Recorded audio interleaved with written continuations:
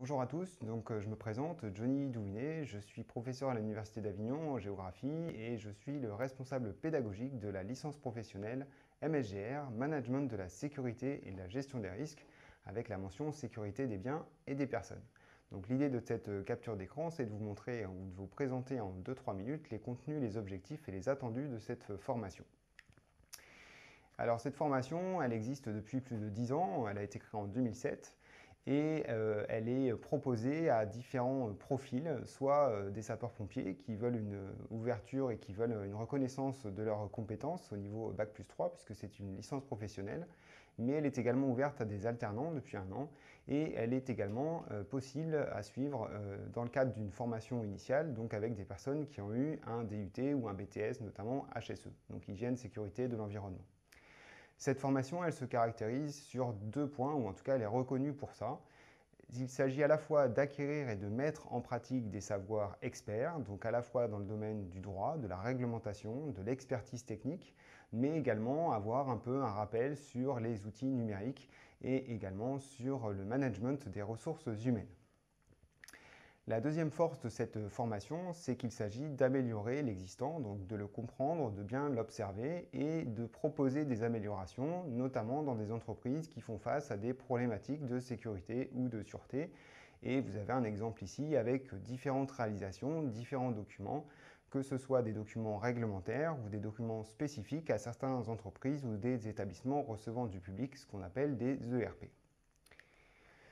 Alors le rythme d'alternance de la formation est intéressant puisqu'il s'agit d'avoir une semaine de regroupement par mois, donc 35 heures de cours sur une semaine, et comme il y a 10 semaines pour la formation, le volume total des heures suivies en cours, c'est de 350 heures. Il y a également, depuis plusieurs années maintenant, un projet tutoré en lien avec des tuteurs extérieurs qui sont des professionnels et qui nous accompagnent sur euh, des thématiques ou des questionnements d'actualité euh, qui font souvent un écho ou un lien avec des projets de loi euh, portés par des députés.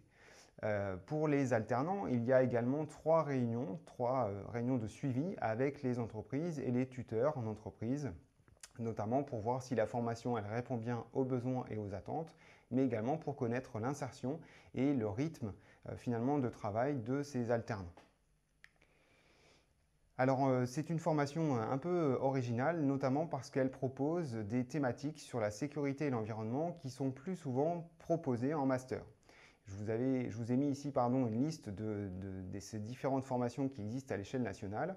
Et il y a très peu finalement de formations en euh, bac à niveau Bac plus 3, en licence professionnelle. Et donc c'est une vraie force. Et d'ailleurs, la plupart des euh, étudiants qui viennent depuis euh, plus de 10 ans, il y a une trentaine d'étudiants par an, eh bien la plupart de ces étudiants ne viennent pas de la région PACA de manière prioritaire, mais viennent bien de l'ensemble de la France métropolitaine et également des Outre-mer. Euh, depuis donc, 2007, il y a 50 euh, partenaires et institutions qui nous ont fait confiance, qui ont accueilli euh, des stagiaires lorsque c'était évidemment possible. la formation est présentée devant différents congrès, que ce soit le congrès des sapeurs-pompiers, mais également le congrès des aides-soignants et la, formation, la conférence pardon, Access. Et d'ailleurs, nous avons des partenaires qui nous soutiennent depuis plusieurs années et qui ont même accepté de mettre leur logo sur les plaquettes de formation. Je pense notamment au service départemental incendie et secours, pardon, le SDIS 84, mais il y a également d'autres alternants qui sont dans des SDIS répartis dans toute la France. Euh, le partenaire euh, privé EOS, donc ça montre qu'il y a aussi un lien avec des acteurs privés dans le cadre de la formation. Donc EOS est spécialisé sur les risques professionnels. Et puis il y a également toute la thématique donc santé et sécurité au travail. En termes de débouchés et d'insertion professionnelle, en 10 ans, on a eu 21 sapeurs-pompiers qui ont fait l'objet entre guillemets d'une reconversion. Donc ils sont sortis de leur pratique métier pour aller euh, et pour être recrutés sur des euh, emplois, euh, que ce soit dans des collectivités territoriales, dans des hôpitaux, dans des centres commerciaux. Donc ils sont sortis de leur domaine de formation initiale.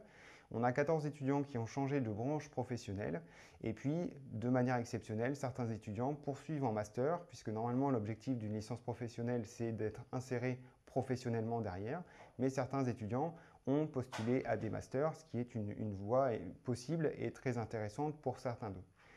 Euh, je vous remercie de votre attention et n'hésitez pas à prendre contact avec la formation continue et Sonia Guichard pour de plus amples compléments. Merci à bientôt